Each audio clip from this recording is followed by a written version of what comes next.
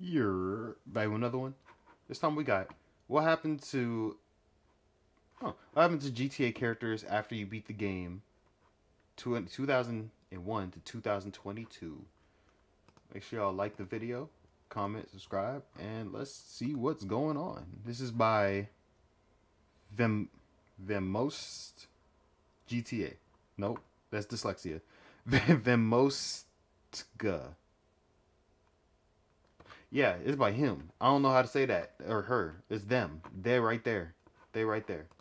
Mm-hmm. Anyway, what's next? We should hit the casinos, roll some dice with Woozie. Nah, we gotta take care of shit here first. Yeah, I have. Over there. Uh, I'll pass. Carl! After all, where are CJ decides to go now? outside saying fitting. Hit the Well, block. See what's happening. Carl Swole.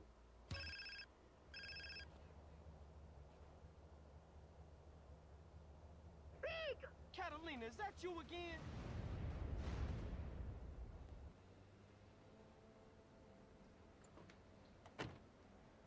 We all good? Yeah, we're good. All right, see you at the back door. Let's roll. I should probably read these out loud. See you at the back door. Mission called Breaking the Bank at what is it, Kalgas, which can be completed after you finish the storyline. Leading some players to believe that this is the true final mission in GTA San Andreas. Hey, cool. Sure? You sound kind of edgy to me. This isn't true since the mission can also be completed much earlier since the mission can be skipped if you didn't go out of your way to activate it. Many players just skipped it since they didn't know that the mission even existed. Cool, okay? Okay, okay. Now make your way to the staff door. I've unloaded the police bikes. Everybody in. Real reason the reason? I'm mentioning this mission in a phone call CJ received after completing the mission. into your police uniforms.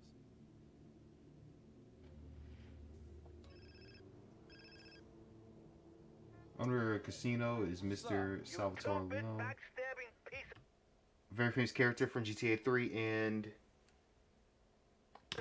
Vice. I'm assuming Vice City. Salvatore.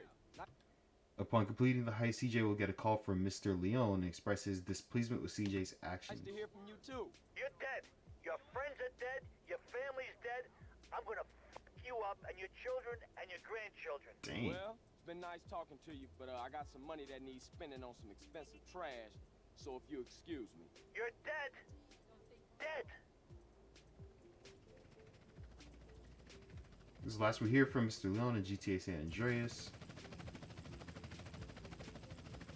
Mob leaders don't take too kindly to traitors, so it's possible CJ became a target for the mafia.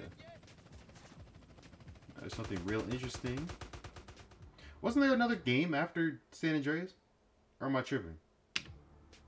Years after GTA San Andreas, uh, LCS came out. Our main character in that game is Toni, returned to Liberty City after having his family kill an important gangster, enemy of the Leone family. There is some speculation that the gangster he killed well CJ. Okay, makes sense.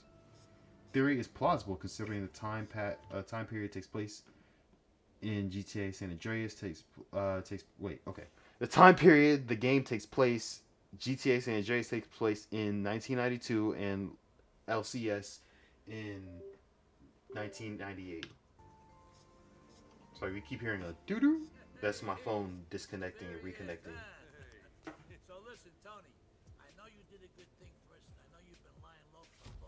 Wait, wait, wait. It's possible that Toni killed CJ and went to a good thing exile. for us, and I know you've been lying low for a long time. We know the information from the text written on the Spanish cover of GTA LCS. I want you to take it easy for a while, huh? Vincenzo will look after you. You need some money? Problem with the theory comes when we go and read English cover of the game, which reads after killing a made man.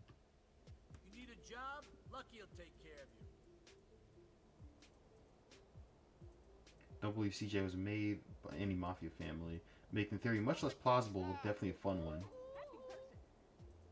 Next possible theory: What happens to CJ from GTA 5? One of the missions, Franklin and Lamar discuss what happened to old Grove Street family OGs. Franklin remarks that he could be either dead or living as CEOs. Water Blight. Be the second option. At the end of San Andreas, CJ had many business connections and established contacts with rich, influential people. Soccer mom and shit, coaching team. Yeah, the suburban flight, huh? Probably so. Also, he expressed this interest in gangster lifestyle, and that's kind of moved away from all of it. As we already know, Grove Street is controlled by ballers in GTA 5. So that I have to look at that. So that uh so the thing that Franklin said about being dead could be true. But I think the second theory Franklin said is much more plausible. Okay. Niko Bellic, the one I really care about. Let's go GTA 5 we see the billboard with a character in a suit looks like similar to CJ. Could be. That wouldn't make sense.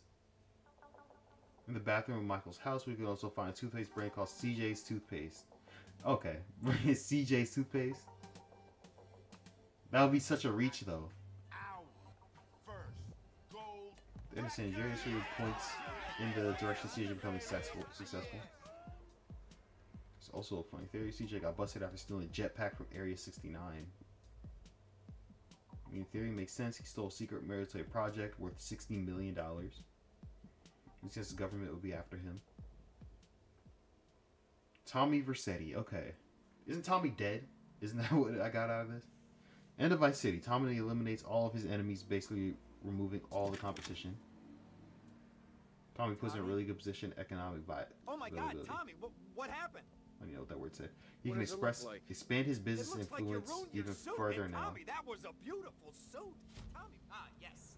Tommy Vercetti, please. First, we hear from Tommy after the events of Vice City, which takes place in 1986. This is J- GTA San Andreas introduced movie, which takes place in 1992. Ken Rosenberg called. Ken Rosenberg, you haven't heard of me? Who are you? Ken Rosenberg. Rosenberg. Ken Rosenberg attempts to get uh, Tommy a link, but Tommy doesn't seem You interested. told him I called? Look, I made that ingrate, and now he won't take my calls? Tells us Tommy's still alive in 1992, probably still running his business. on the phone right now. Hello? Hello? Damn it. 2002 made a website called Rockstar made a website called that nope which dedicated to remember the 80s in Vice City. Author is Kent Paul and explains all of his problems which happened to him during the 80s in Vice City. And at the end of the article he writes to see Tom, I don't I didn't mention your name nowhere, maybe you won't get us killed now, okay? You play that Tommy's Still Alive by 2002. Okay. So yeah, Mr. Vercetti is still alive and well in 2002. But if we assume nothing happened to him, mean in the meantime we have no reason to believe that something still happened. Something happened to him would still be alive today, although much older than when we last saw him. Bro, there's a lot of talking. I need some water. Goodness, this is a lot of talking. Ah, I need something to drink. Ah.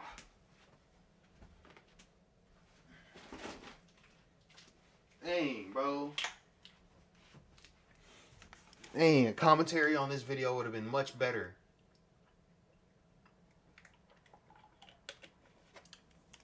Instead of a text. Ah. It literally hurts my throat. I was I felt like my throat started bleeding.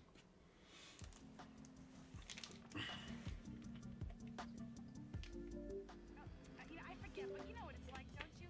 The sound of explosions shook nearby homes. Mr. Moot is an interesting one. Several citizens were injured in the panic as gunfire was exchanged. Out of all the characters, he is the one with little to no information out there. So we can skip him, right? Because my throat hurt. I really just care about Niko, honestly, and then GTA 5 characters. Appears in GTA San Andreas, okay. What kind of Isn't man helpful answering what happened to him after GTA 3. I mean that I love What you. the fuck? Leave my car alone. I did this for us. Becomes a really fun thing. you. Character in GTA call, 2 called Claude Speed. Now, the- okay, bro. I, I don't even care about. I hope y'all can see. Y'all can read this. Looks like they actually might be the same person. They need. Rockstar said and asked by a fan some information called Claude.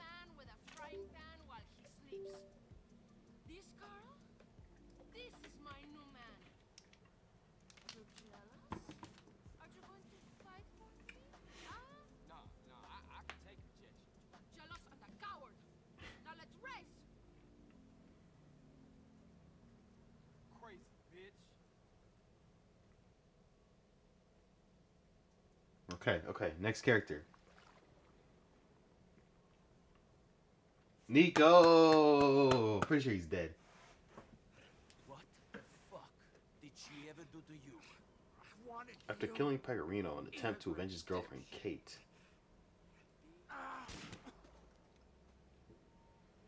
Niko was having a really hard time. She was something actually someone he actually really liked. She was gone way too soon.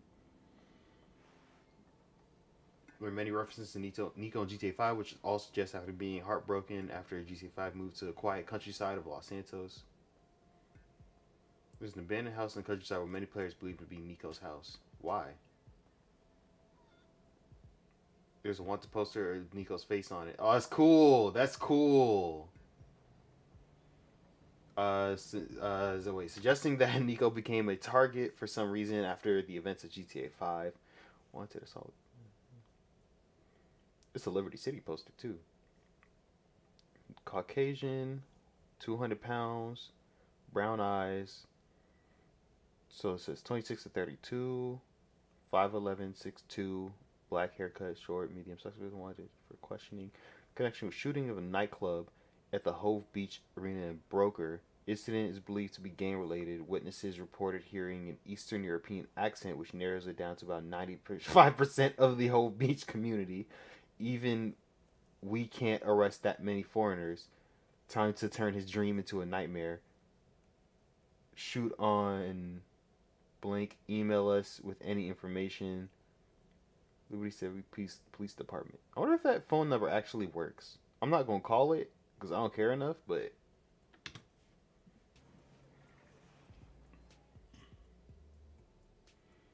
next up we have Niko's jacket, which can be seen outside bars in Los Santos. Could mean Niko's at one point here. Perhaps some people were after him since he seemed to be a wanted man in GTA 5. Picture of Niko's driving a tow truck in the same bar. Possible that the fact Niko's bar took a uh, took a look at this. Last night I had a dream. Really? Yes. You and I had a place of our own. A place where Could it possibly mean that Niko decides to get his own bar after the events of GTA 5 and the owner of it now? Although the place doesn't seem to be much classy. It's a place of distinction, you know? Things get weird if you do go a little further. Bloody footsteps we see my pool table. Dang. People just chilling like that? Could mean this bar fight happened, which is common in these sorts of places. Okay, true. Niko participating in this blood, we don't know. There's also an interesting quote from Lester talking with Michael. That's the only, that's the one everybody heard who played GTA 4. He died, moved away from crime life. Decided to move away from it all, live a normal life.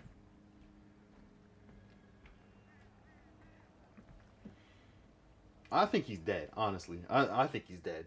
But that would be cool if he's not. Franklin, okay. Actually, don't need speculation. We're having a Franklin Rockstar did this for us. Now me, shit, I'm a hustler. Oh, GTA, GTA Online, yeah. family and everything. Damn, man, I miss getting these fucking hands dirty. But now I work with rich folk who got rich folk problems and no fucking idea how to deal with it. You know, like the kid might stole a car, or their wife might be screwing the tennis coach.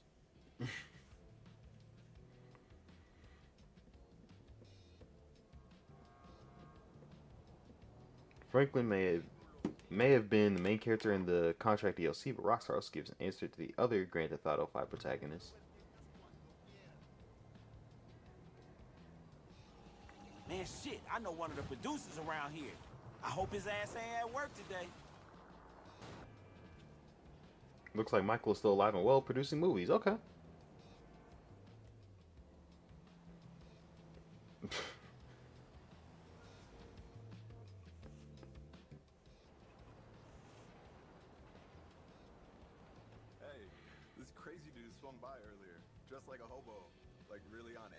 Swore him and Mr. Clinton used to work together.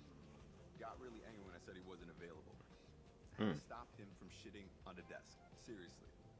If you get a minute with Mr. Clinton, would you let him know? Looks like Trevor could have painted to be Trevor. Yeah, makes sense. Nice to know that he's still alive. They all stayed in contact. Kind of stayed in contact. All right, that was that was interesting. Was interesting. What these comments talk about? And Lester says he went quiet. I think he refers to Niko being alive and gave up on the time of life. Definitely considered him as a very damn good at what he do. Lester wouldn't even reference him if he was dead. There'd be no ref. That's true. That's very true. He wouldn't even waste his time even thinking about him. He'd be like, oh wait, he's dead. Never mind. Not mistaken for a bank heist in GTA 5. You can recruit Packie from GTA 5. He mentions Niko. It's true. Correct Packie the mission, the Paleto Score. He'll mention the events of the mission, Three Leaf Clover. He'll mention how Michael, not the GTA 5 Michael, died. The thing that Derek, that he'll say that Derek is dead because of death. Not mentioning. Uh, mentioning he will later mention Niko, and will say that he does not doesn't know if he's dead or alive. Okay, uh, that's enough reading for now. My voice hurts, so I'm out of here. Hope y'all enjoy. Like the video, comment, subscribe. Bye.